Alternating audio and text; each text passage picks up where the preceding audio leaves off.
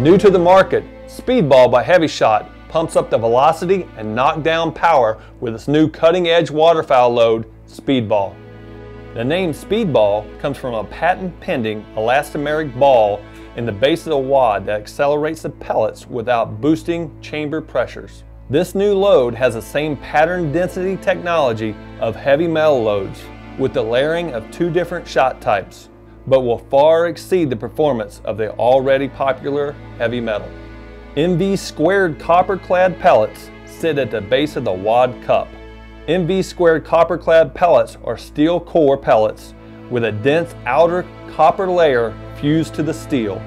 This gives Speedball 22 times the copper thickness of traditional copper plated lead or steel.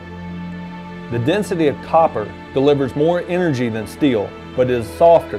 This creates a pellet that deforms on impact, transferring more energy from the pellet to the target.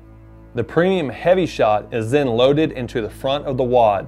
This combination of dual density pellets, speedball elastomeric ball technology delivers high performance waterfowl load that is unmatched in velocity and energy.